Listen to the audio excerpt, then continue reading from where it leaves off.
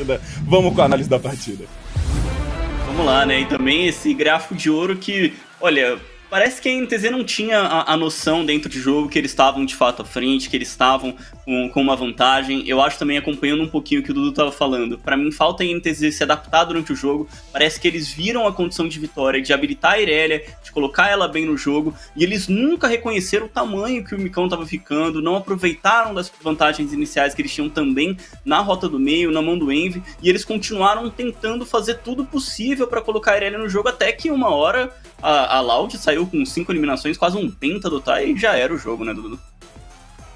Exatamente, dá para ver pelo número do dragão, né? A partir do momento que eles transferissem, aproveitassem, como eu disse, né, aquelas eliminações iniciais na mão desse Ezreal, poderiam mudar bastante o controle daquela parte de baixo do rio. E na verdade, quem fez esse controle foi a Loud, porque a NTZ realmente se preocupou muito em manter o isolamento dessa Irelia sobre o vole, mas o vole foi acabando pegando um abate aqui, algumas assistências por ali, dava os teleportes de uma maneira muito mais ativa do que conseguiu a equipe da NTZ, e no fim das contas ele ficou gigantesco, V7.